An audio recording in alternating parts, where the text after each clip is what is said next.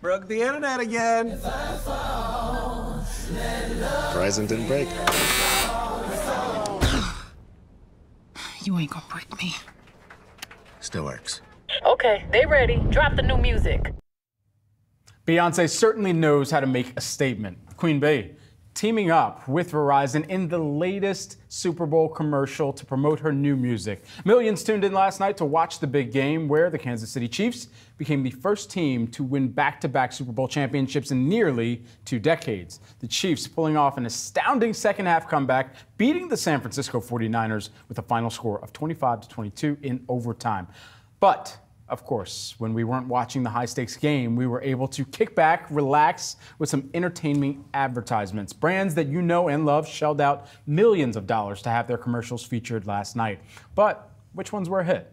Let's bring in Jason Harris, Mekanism co founder and CEO, and Marcus Collins, University of Michigan's Ross School of Business Marketing professor, to discuss. Gents, great to be able to take some airtime and really break down what we just saw. What did we just watch? And, and Jason, I'll begin with you because you're here in studio with us, and, and we were talking a little bit beforehand here yeah. just about the atmosphere that you had going on at your place where you're telling everybody, shut up, I need to watch this ad at home. Yeah, I have a you know Super Bowl party every year. Yeah. Everyone's eating uh, guac and chips and uh, talking in between the uh, the game, and I have to be like, I, I got to take notes. I what was the clear strategy then that emerged in, in these commercials from your, from your uh, I mean, I, I think the, the play, the playbook that is pretty developed now is uh, you get cele- you keep it simple. You get a celebrity, you get humor, and then you have to get the brand in there so it doesn't become just a celebrity ad. You got to really sell yeah. and get the brand in there. But I thought what, what was interesting this year is it felt like a lot of ads were kind of celebrity vomit.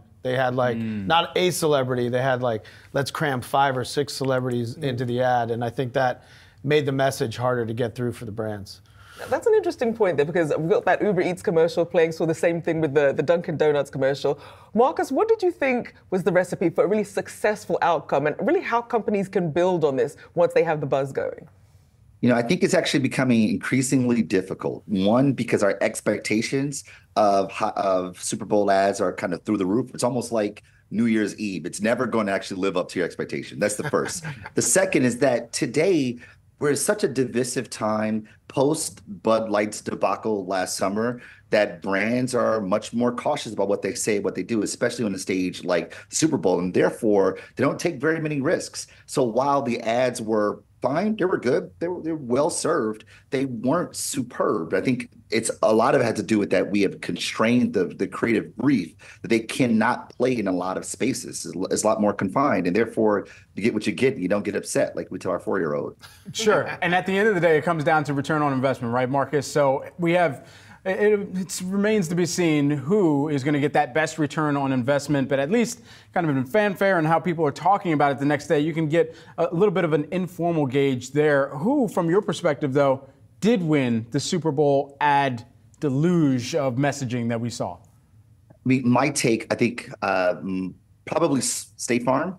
Uh, State Farm's ad was well contextualized, good, you know, set up to a joke, good premise but also uh, good play with Arnold Schwarzenegger and Danny DeVito. And it landed, to Jason's point, it landed the brand's point of view that we're here to serve. We're, we're, we're good neighbors. Now, you cannot sleep on Verizon. While you may have whatever you have about the ad, the fact that Beyonce was able to to coordinate a new song release, two new songs, and the teaser for the album that's coming in March. This is gonna be a country album from Beyonce, Renaissance 2. Like you gotta give Verizon some props on that one for sure.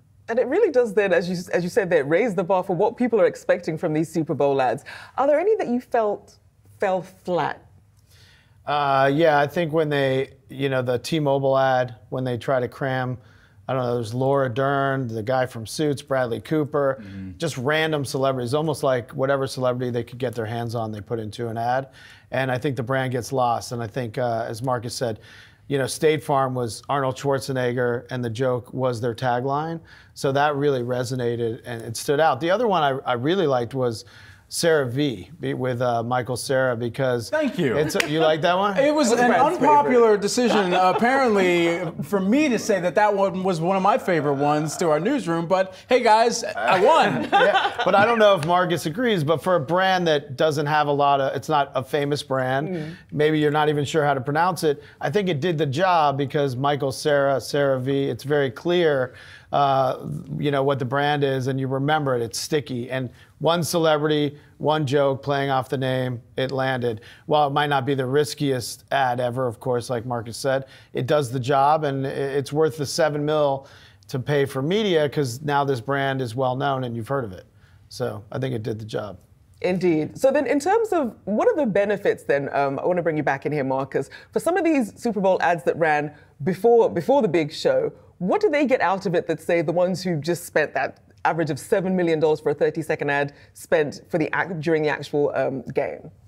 they get us. They get more media. We talk about it for longer, right? It's not just 30 seconds anymore. They got a couple of weeks exposure. They get more time. And then we talk about it after the fact. So what it does is it helps amortize that $7 million 30 second spot. And if they're lucky, maybe their spot actually runs twice during the Super Bowl because there's overtime, right? I don't know about you all, but I think I saw the Temu ad maybe five times. Like I was like, good grief. And it didn't deserve to be on Super Bowl, but that's another story for another day. But the point is that we try to put things early in the upfront so that we can get more bang out of our buck, more media out of our buck, which is essentially what people are spending the money on the Super Bowl. Biggest media moment in the country. They just want media.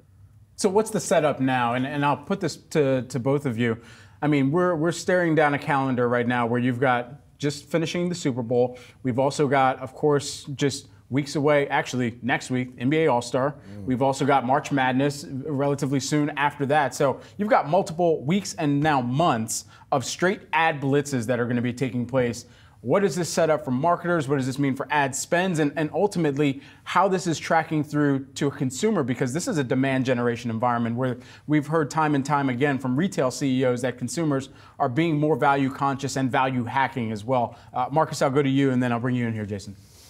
Yeah, I mean, this is the power of culture. We identify cultural moments where the brand can have a point of view on that particular contextual moment within uh, a, a certain frame, such that the brand can say something meaningful, whether it's the Super Bowl, whether it's Oscars, whether it's Grammys just a week ago or or All Star Weekend. These are all just opportunities for the brand to be more than just uh, just a toothbrush, more than just toothpaste, but actually have some some significance in the cultural zeitgeist. And we use these moments as vehicles to communicate the brand and the way it sees the world, so that we can connect with people in really sticky ways. And and I think these are the moments because it's live sports that we're talking about, where you're actually watching the ads. You know, you're not you're not skipping the ads. It's not a streaming platform. You're watching the ads. That's more valuable. That's going to cost more money, and you're riding the wave of the pop culture zeitgeist of the moment. So those those are just going to keep going up in, in cost. And speaking of the zeitgeist, obviously you, couldn't throw a stone without hitting AI, even before generative AI, even before this, this uh, the Super Bowl. But then to see Microsoft Copilot, something that still a lot of people not really that familiar with uh, with how it works. What do you think about AI being, you know, the dominant theme here versus say what we saw with crypto a few years ago? Yeah, I, th- I actually thought there was going to be a lot more AI in the Super Bowl. You know, I think there was like one or two, uh, but I thought Microsoft, uh, you know, they have a they have a real good head start, and I thought they did a great job with it. What do you think, Marcus?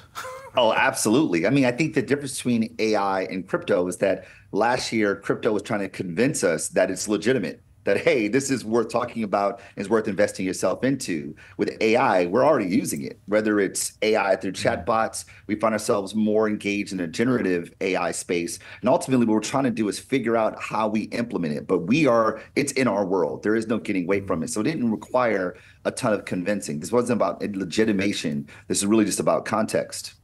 I think that is an important distinction there uh, that you brought in. Appreciate you both for joining us. Jason Harris, Mekanism co founder and CEO, and Marcus Collins, University of Michigan's Ross School of Business Marketing professor. Thank you to you both. Thank you much.